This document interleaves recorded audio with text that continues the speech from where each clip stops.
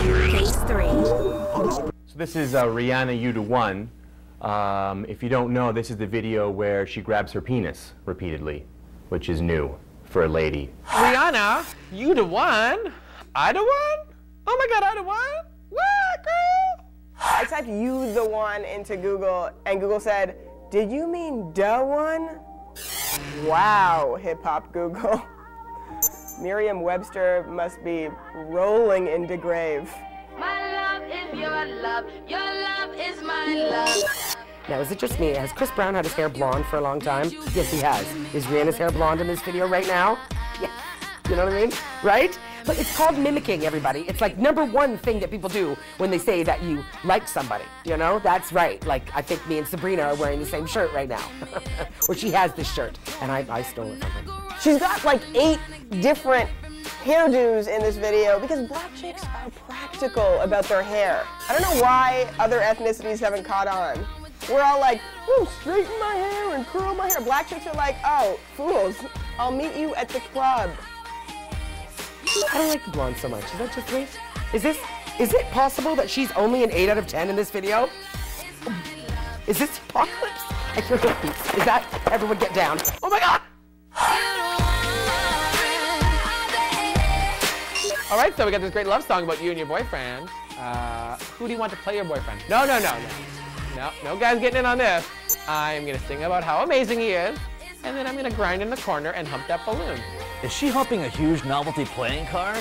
I've been there before, just sitting back and like, whoa, queen of clubs, queen of spades, hello, threesome, two black chicks. That's never happened before. For free. Really? You dream of him all day? All day? That's not healthy. What do you want for lunch, Rihanna? Drake. All right, cool. Drake. Yeah, I got it. Drake. That's my best Rihanna impression. And you will not find a better one anywhere. The one I dream about is obviously Selena Gomez, but I'm over that. You think she watches this show? I better tweet her a hundred times to make sure. He's the one, then go tell him. I'm pretty sure that he's not going to be upset that Rihanna likes him. What you shouldn't do is dance like a 1930s prostitute in an abandoned warehouse. That's counterproductive. Oh, I get it. She's thinking about her vibrator. Yeah, because your vibrator will never let you dance. Unless the batteries run out. Video goes out to all of Rihanna's fans, but mostly her deaf ones. They're like, this closed captioning is amazing. Detective DiGiovanni is back on the scene, guys. There's a lyric in there where she bleeps. No one has a bleep like yours. I don't know what you're all thinking. No one has a, a big heart like yours. Chris Brown is known for his big heart.